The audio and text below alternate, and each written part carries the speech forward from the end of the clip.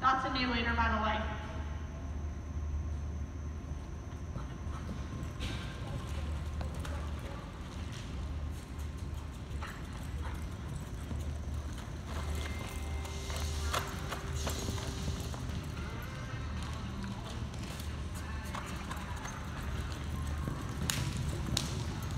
Fifteen, sixteen.